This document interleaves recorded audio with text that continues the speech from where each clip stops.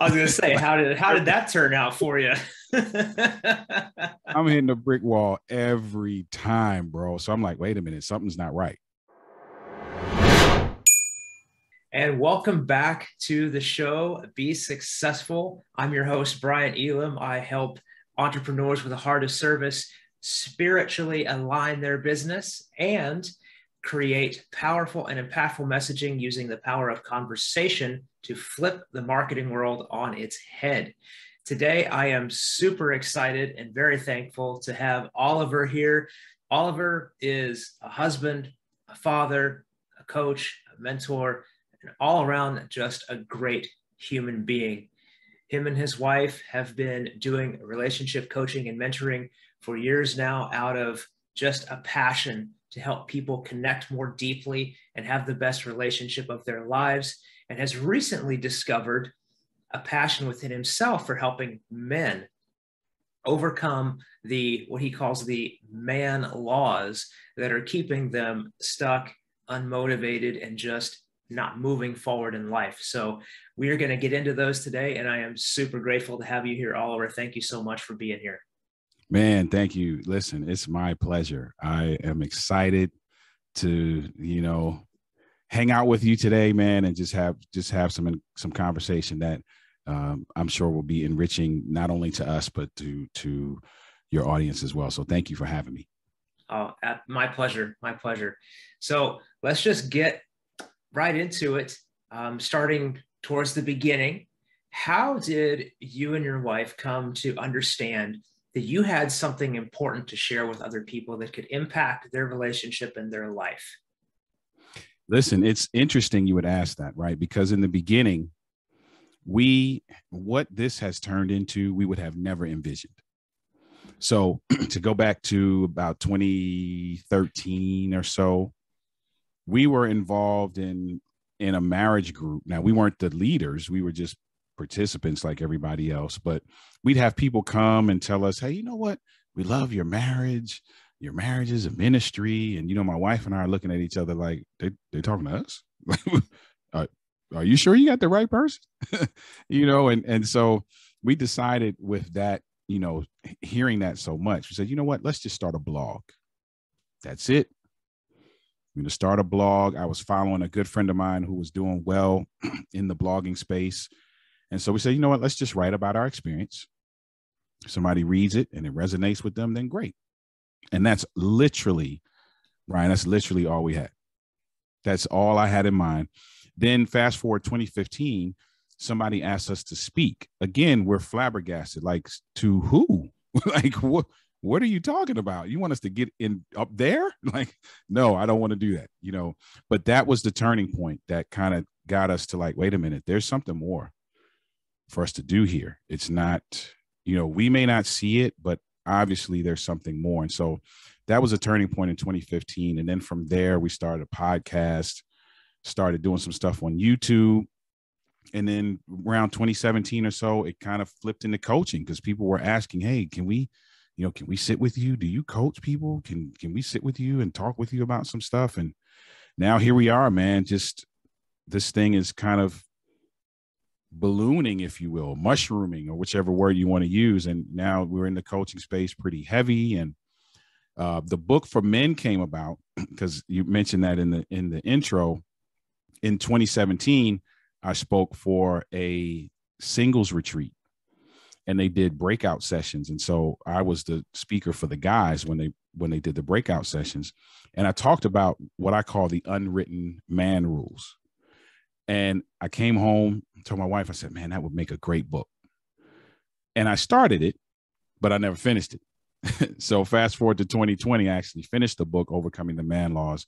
And that's been, you know, a journey has taken me now on a journey of really being able to talk with men and sit down and really kind of dig into some of the things that we grapple with and and helping men to really get over that hurdle sometimes that keeps them in the same place excellent and these these unwritten man rules is this something that you discovered through your own personal journey, or was this something that you got, you know, came to light through your work with the relationship coaching? My personal journey, 100%. The book is literally my journey of self discovery in eight areas that I grappled with. So the book, it, it, and it's a chapter on each one. So leadership, mental stamina, relationships, faith, trust, respect, altruism, and authenticity.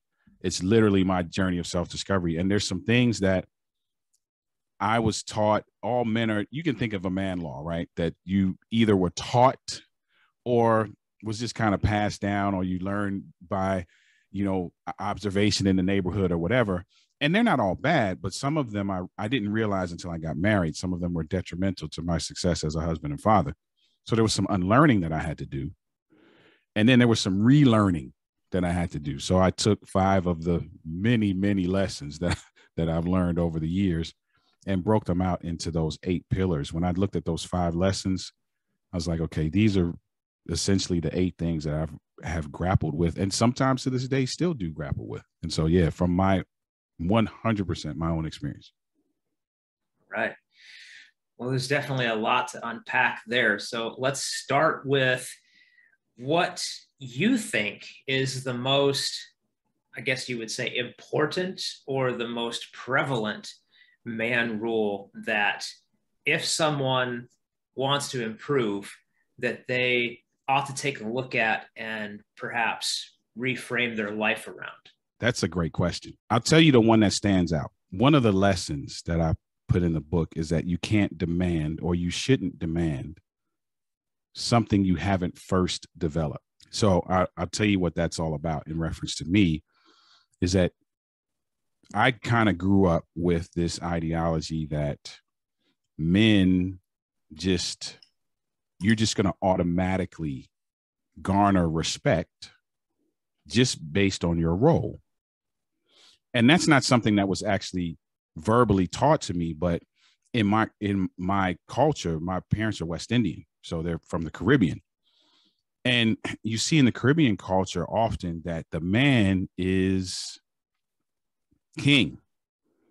So it didn't even really, in some cases, didn't even really matter how great of a guy they were or how dependable they were or how much integrity they had. They just kind of commanded the space just because of who they were. So what you say goes. This is how these things are going to be run. Everything's going to kind of fall in line with their their vision. And so I kind of took that and ran with that because that's kind of what I saw.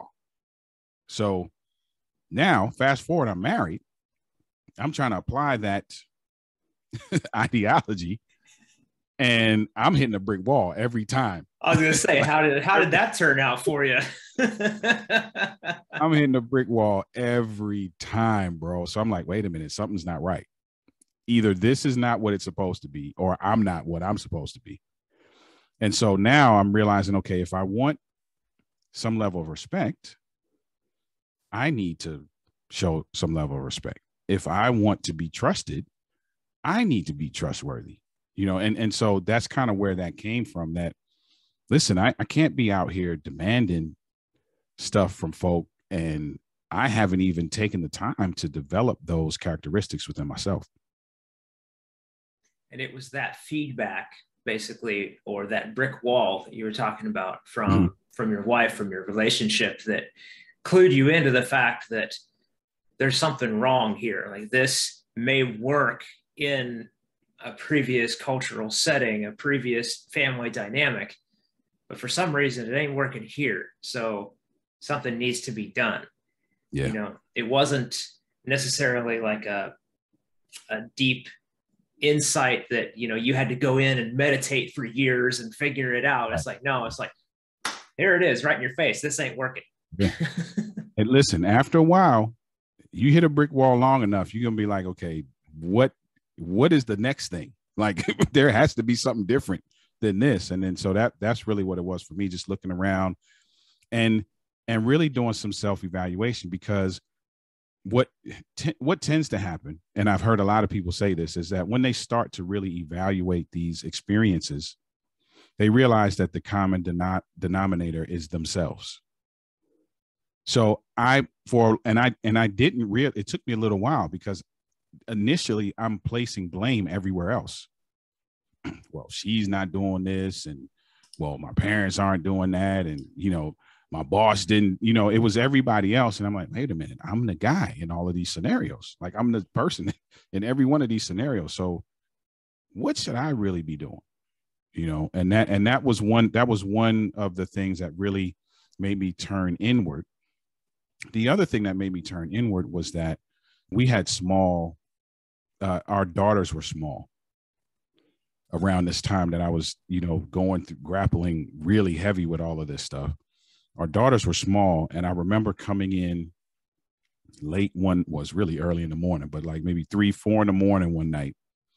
I remember coming in and I was sitting on the couch and I was thinking to myself, man, if my daughters were to grow up and bring a version of me at that time home, I would be livid.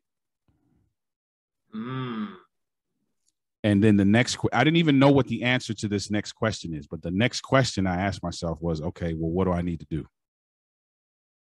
I didn't know the answer at the time, but that was the the question that made me kind of go on this quest of okay, there's something different you have to do. Now go figure it out. Yeah, so often in life, it, it's the quality of the questions that we ask that determine the quality of the outcomes that we get. And uh, a very common misnomer is that you need to, have to, should know the answer to the question immediately after you ask it. And I mean, here, here, folks, right here is living proof that that is not the case. You do not have to have the answer, and you can still find success out of that question that you don't know the answer to right away. Yeah, and I'm glad you said that because I see that often with the guys I've been able to sit with is that they're beating themselves up because they don't have a solution. And I'm telling them the fact that you're even in this moment right here with me is an indication that you are facing the right direction. So it's not about making a discovery and then the tail end of making that discovery now is success in an area or mastery in a particular scenario. It's not that. It's the beginning. It's the actual beginning of the journey. It's funny when, when we, uh, a few years ago, no, it's a little bit more than that now. I'd say maybe about 10, 12 years ago, this guy told us, he said, listen, a lot of people equate getting married to reaching the pinnacle of Mount Everest.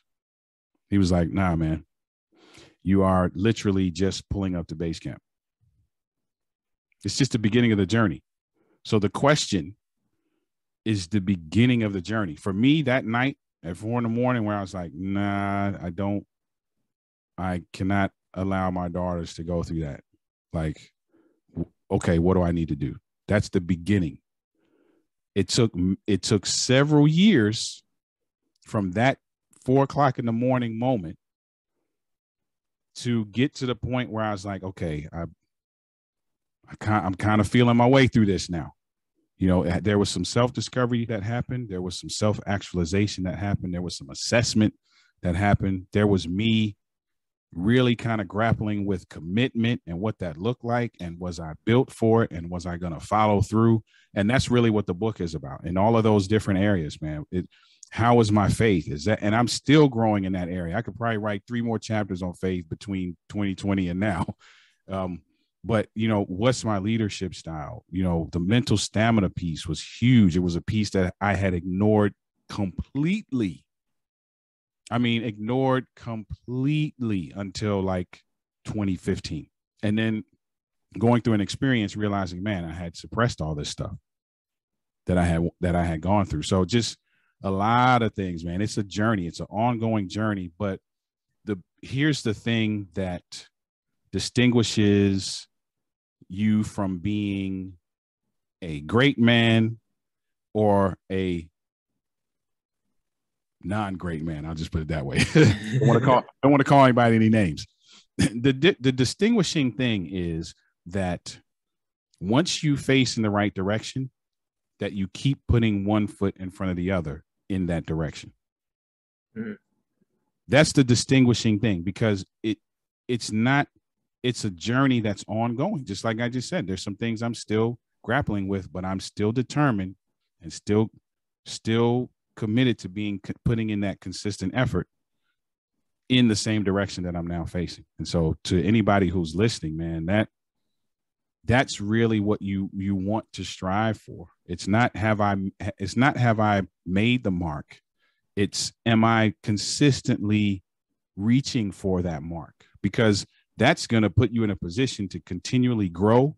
That's going to put you in a con, in, in in a position to to continually absorb and look inward and gain that level of self-discovery that you need that allows you to take that next step.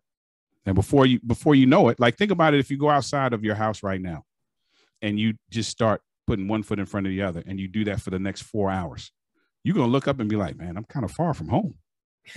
right? you know, and so and it's the same thing. You're going to look up one day and be like, "Wow. This is dope. We've we've we've we've come a long way." And then For you just real. keep doing it again. That's right. That's right. And I just want to tack on to that point you just made right there at the end. As you do this journey, as you walk that path, it's not to say that you won't get to where you originally wanted to make that mark. Mm-hmm. You'll get there so long as you keep putting one foot in front of the other. But here's the fun thing that there's always going to be a next mark. There's That's always right. the next level. So you right just like the work always continues, the journey always continues. So you'll get to where you want to go, that spot that you have in your mind right now. But the beautiful thing is there's always another level if you want it and you can keep marching on. And okay, got to go back for just one second to uh, to if I can remember that far back because there's a lot of gold that we just went through right there. Um, so men, ah, that's what it is. Men are very solution oriented. Yes. You know, and I'm sure you can resonate and like nod your head with this. Yes. A woman, a, a woman tells a guy about her day, about this situation, this problem that she had, and the male, oh, well, here's how you solve that problem. Well, that's not what she wanted. She wanted you to listen to her, to yeah, to resonate, to understand, not to solve it, but that's how we're wired. So, in that is the the recognition of that. Is that one of the unwritten man rules or laws? Or is that a just just a kind of a catalyst or a piece that we have to remain aware of as we navigate through all of those laws? I think it's closer to the latter because that is something that's kind of like you to use your word we're wired that way. That's part of the fabric of who we are. What we have to now do is learn techniques that allow us to show up in that way when we're needed but also to show up in the way that our mates or other people may need us to show up. And so what i what i've been teaching couples to do and and having men do is forego your knee jerk reaction in that scenario that you just described mm-hmm. right knee jerk reaction is, hey, okay, well, do this, this, this, this, this, and this, and you're gonna be good. Believe me, I've done it a million times. and out of that million times, about 900,000 of those times, that's not what was called for. right? What I'm doing now is that I'm foregoing my knee jerk reaction. And that takes some level of discipline. And you you learn that level of discipline and self-control over time and trial and error. But forego your forego your knee jerk reaction replace that with an active listening response. So what does that look like? So tells me about the day, tells me about these things that happen at work. This happened. Oh, on the way this on the way home, this happened, this happened. So my active listening response is going to be something like, "Wow, babe, man." So I, kind of what I'm hearing you say is that like there was a lot happening today, and and this is how you felt about it. And I would just basically kind of summarize what she said as crazy as that sounds, I'm repeating basically what she said to me, right? But then what it allows her to do is to either clarify if I didn't get it right or to agree. And that agreement in it, in and of itself, that acknowledgement and that agreement now takes a little bit of the pressure off, just enough for her to say, what tack on what is the need that she's trying to express. So let's say she, let's say I don't get it right. Now that gives her a chance to clarify. Well, no, that's not really what I was saying. It was kind of like this, this, this, this, and this. Or she can be like, "Yeah, man, I, I, you're right. It was. I think I need, I need a break." Now, what I'm wired to do, now it probably becomes appropriate because now I can be like, "Oh, okay, you need a break. All right, don't worry about it. I got dinner. Um, I'm gonna go ahead and take care of this. I'll, I'll take the car over to to get the oil change. You go ahead and, you know, do you go out with your girlfriends or whatever." And now you've averted that, and still kind of did what you do best. Right, right. It's just recognizing where to place that in to the conversation, into the dynamic versus, like you said, going with that knee jerk, hardwired reaction of wanting to fix it. Yeah. Yeah. That has that has helped me a lot, and I've I've noticed with a lot of couples that we work with that has been a game changer for them because what here's let's play the scenario out the other way, right? You you dive in and now now she's he or she's mad. Like that's not what I was asking you to do. I just wanted you to listen and, da, da, da. and now we're in now we're in a whole nother zone. We're in argument zone. And now we got to deal with the fallout from the argument and then probably we'll still have to circle back to whatever the issue was once we deal with the fallout. So now you've right. compounded this thing in a way that is just not good for anybody involved. Yep, absolutely.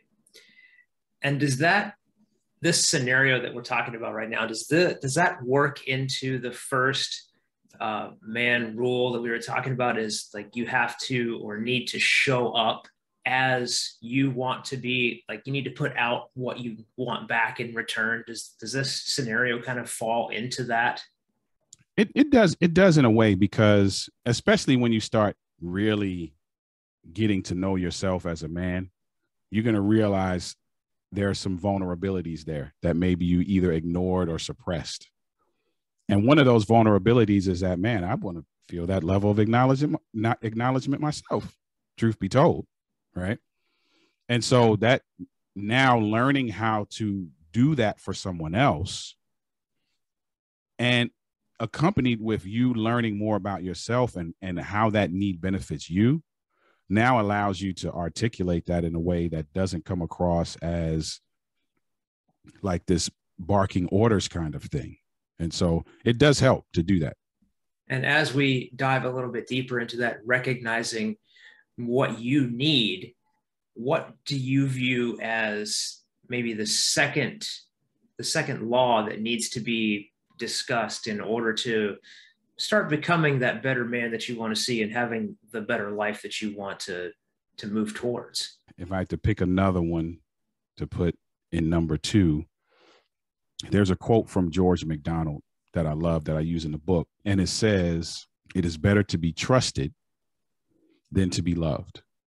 Now, that's a lesson that I learned kind of the hard way, I guess you could say, because it's um when you think when you hear it, it sounds poetic in nature, but then you're like, wait a minute, really?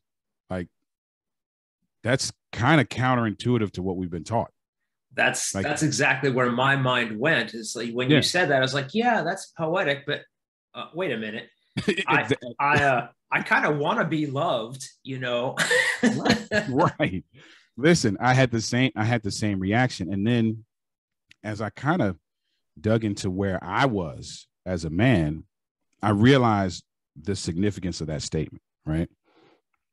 L- love is is an emotion. What, what people can kind of we can grapple with that what it is and what it isn't right but for i'll say that it's an emotion however that emotion aligns with some different variables so even though as christians because I'm, I'm i'm i'm a man of faith so to put it in the christian context you're supposed to love everybody so that means that love that you have for everybody doesn't align with any variable. So that means you could be the greatest person in the world you could be the absolute worst person in the world, but my faith now dictates that I should love you. In the romantic world, it's not like that. If you're the worst person in the world, there's a good chance that love is not aligned to that. Right. However, what I recognize is that trust and respect are they are aligned to a lot of people's most important emotional needs. And typically, you fall in love with the person who meets your most important emotional needs consistently. You tend to fall in love with them. Mm. So, as you're building trust, the other thing is a byproduct.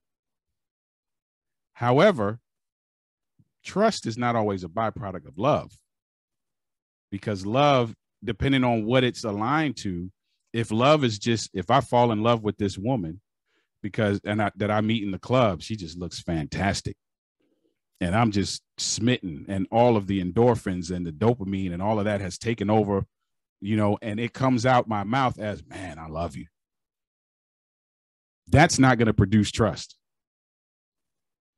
But if i build trust over time by a lot of different things consistency and i'm continually showing up and i'm being here for you and i'm doing this and i'm fulfilling and i'm you know i'm i'm facilitating these most important emotional needs. One day i look up and like man i love this person. And for me i'm just going to speak from my own experience. I tried to do it the other way. Mm. and it didn't work. And then I realized, well, I'm not going back to the first one, I'm not even presenting myself in a way that would present me as being trustworthy. I wasn't building trust at all, but I was expecting it to be built for me based on other things that I was providing or other things that I felt like were more important. So that's one that I grappled with a lot and then realized, you know, once I started being consistent, that the trust started to be built because the building blocks of trust is consistency. So once I started being consistent, trust started to be built. And the more she, so I'm speaking now from the romantic relationship perspective, the more she trusted me, it seemed like the more she she loved me. And I was like, wait a minute. I'm seeing a pattern here that I didn't see previous. So that that's the one that um the trust and respect piece i guess that would be two and three there's a chapter on in the book on each one because those were two that i grappled with as well. But yeah that's my that's my take on george MacDonald's quote it is better to be trusted than to be loved. Now we need to be loved brian. Let's be clear. Yes. We need that. Absolutely. We need that. But the trust piece is is foundational.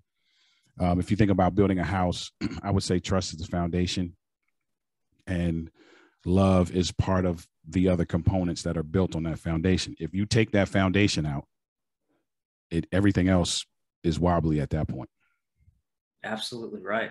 And, and like I say, initially when you mentioned that quote, you know, the, it had that that kind of knee jerk, like, wait a minute, that doesn't sound right moment. But then a couple seconds later, after I was able to think through it a little bit more deeply, I totally understood yep. what he meant and you you articulated it beautifully with that that house analogy of trust being the foundation and love being built on top of that. And if you like you said if you remove it then you know who knows if it's going to stand up you know yep. a year later a minute later.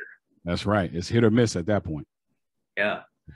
Yeah it can definitely lead definitely lead to that. Man, I'm telling you, like they're so it's so interesting.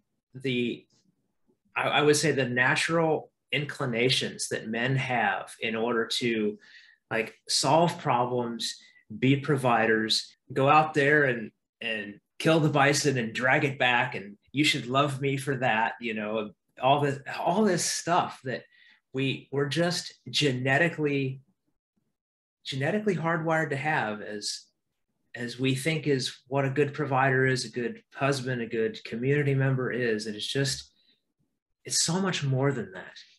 It is so much more than that.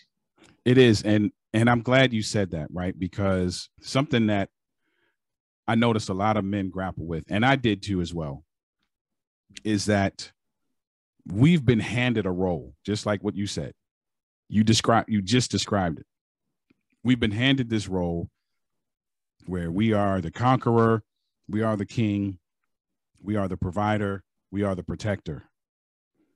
All of those uh, attributes, we don't ever tell guys that there is a there's a human side to all of those very uh, superhero type attributes.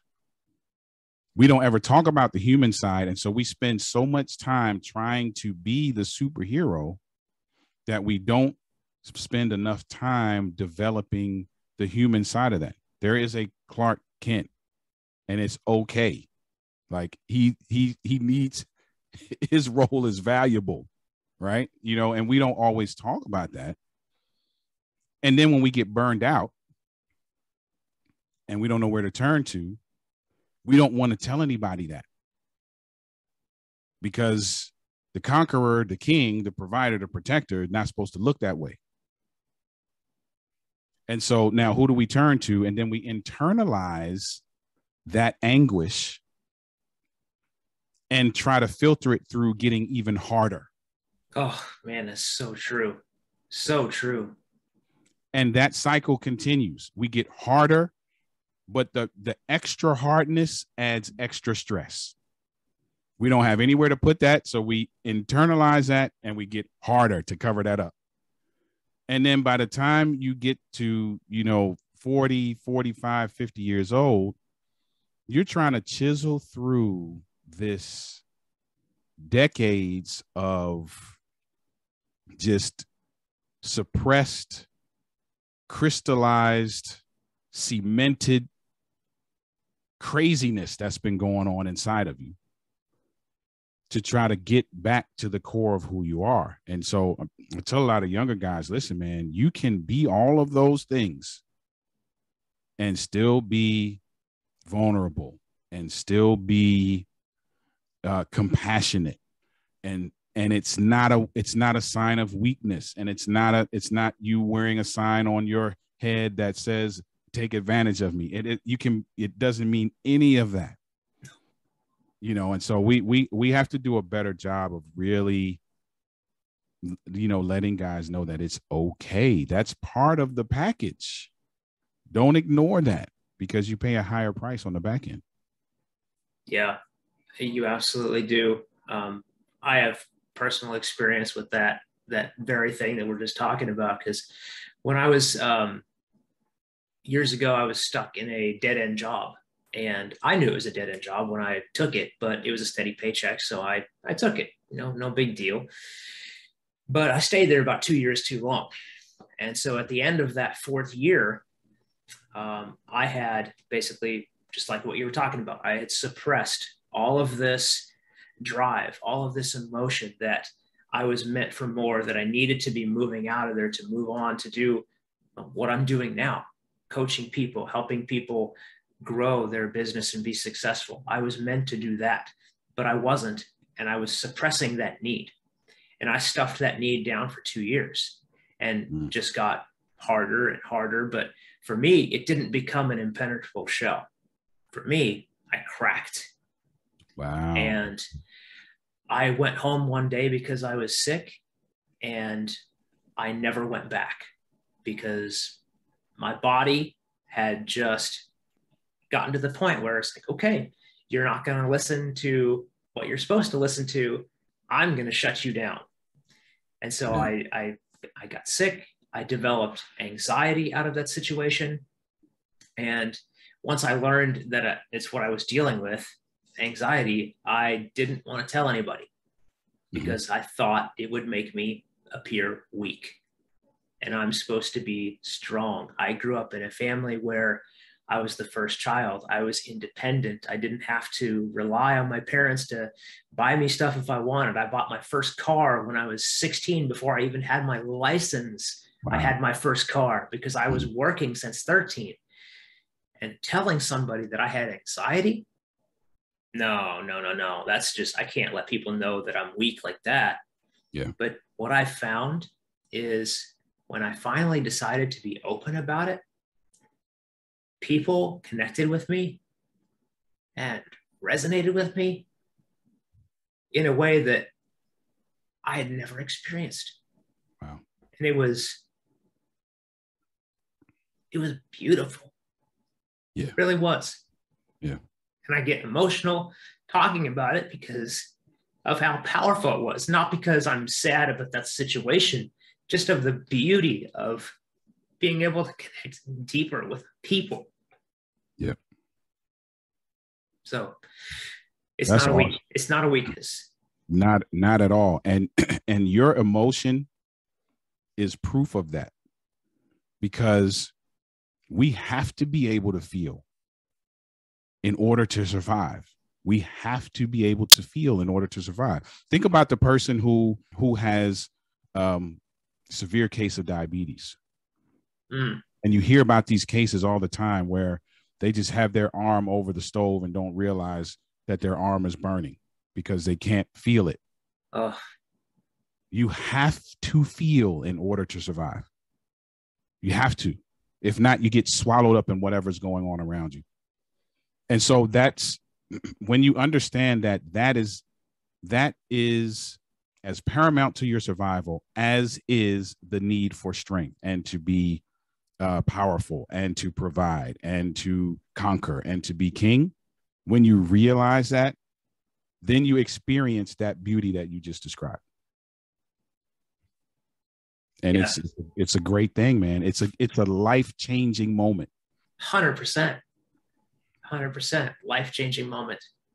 Yeah. And it, it puts you, in my opinion, and you can let me know if you agree, but in my opinion, it puts you on the path to have more in your life. It, that, like that openness, that ability to, to feel and, and be vulnerable, it allows more abundance into your life. Yeah. I agree 100% because it frees you of some other things. And once you get freed of those other things, now you have the capacity, you have the room to now take on what you need to take on that's beneficial for your soul. Right. Mm. And that freedom, the things that you free up, also clears your vision. It gives you some level of clarity to be able to now recognize the beauty in other moments and other people. Mm. Yes. Yes. I didn't I didn't necessarily equate it to clarity. I just called it empathy, but Mhm. you're you're right. It is also a level of clarity. That's amazing. I'm going to have to internalize that and let that process for a little bit. Yeah, But, uh, absolutely. But yeah, that's that's a very deep revelation, at least for me. Mhm. And isn't, if I remember right, clarity isn't that one of the the things that you help people with as well, like becoming, getting more clear. Yeah, that's that's one of the things. So my my goal, so that the T-shirt I have on says 2020 before hindsight. That comes straight out of the book.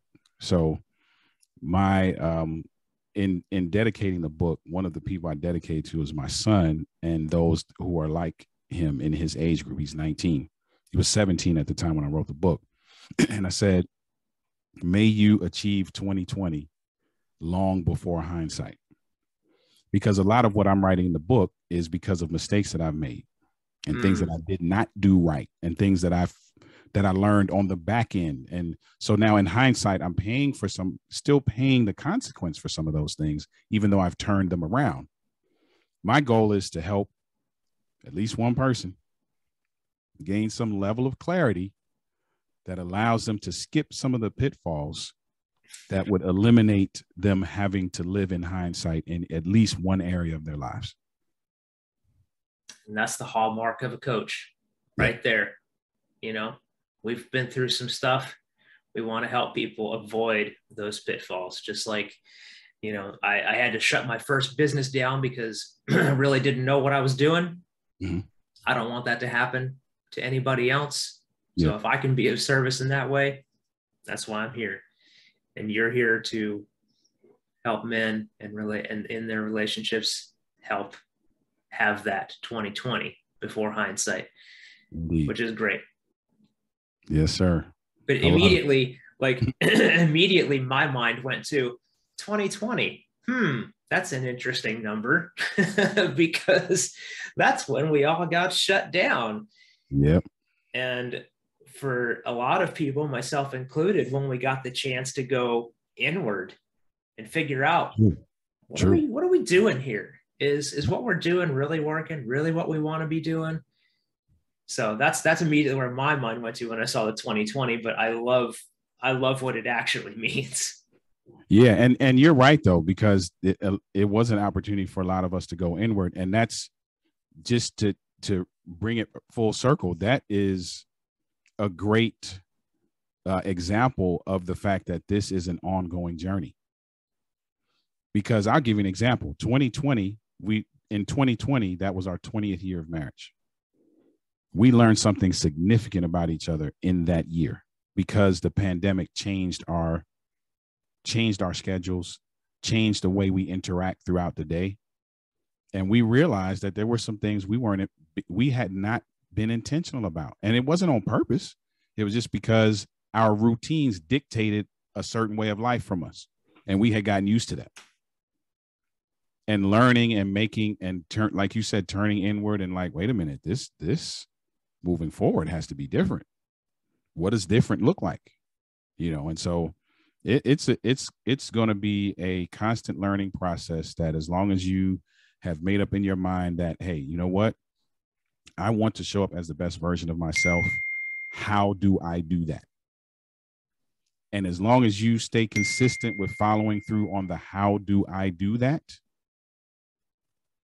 you're going in the right direction i love i love the way that you just brought it right back around that was so like so succinct so perfect and we got some great tips. We got some great tips here, people, from Oliver today. So, um, next up, how in the world do people get in touch with you, go deeper with you? How can these these men, these people in these relationships, how can they start with you, get your book, all of this stuff? Because we want it, we need it. Absolutely, absolutely. So the best way, I'd say, the central hub would be the website, which is Denoli, D E N as in Nancy, O L I dot org. And we're on all social media on LinkedIn. It's all the same. It's at Denoli LLC. So, uh, but the central hub is there. From there, you can get to YouTube. You can get to which we're building that community now. So I would encourage anybody who really wanted to connect with us to head over to our YouTube channel, which is again youtube.com slash Denoli LLC. Everything's Denoli LLC.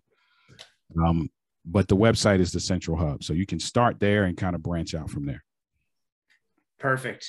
Perfect. And that link, of course, I'll put in the description below. That way they can reach out to you, go deeper into your work, and just level up, level up as men, level up as human beings yeah. and just create a better life for themselves, their families, their work, wherever it is that you need to improve. Oliver's here to help you make it happen.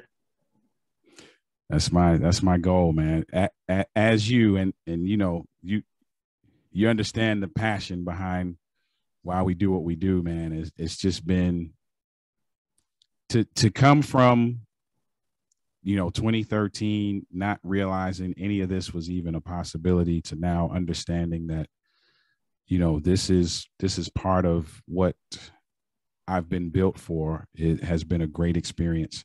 It's been it's been as much of an experience for me as it has been for the folk who i sit with. 100% I, I have become a better person. I have become a better person without a doubt and so I'm loving the journey that I'm on. And I'm, you know, I'm, I'm yelling out the window, hey, come on, get in the car with me. Let's go. well, I think with this, I think with this episode, you're going to have a lot more people that want to jump in that car and get on going down the road. So I, I, do, I wish you all the best. And thank you so much for giving your time, your value, and your inspiration. I deeply appreciate it. Man, it's, it's my pleasure. Thank you for the opportunity. Oh, it's my pleasure. All right, folks. links below. Oliver's here for you. I'm here for you. We're all rooting for you. We're all cheering for you. And we'll see you in the next one. Peace. Thanks so much, guys, for watching this video. If you enjoyed it, please give it a like. Please give it a comment. Let me know what your biggest takeaway was from this amazing entrepreneur's interview. And if you want to see more videos just like the one you watched, click right up here because they're exactly what you need to see next. Thank you so much, and we'll see you in the next one. Peace.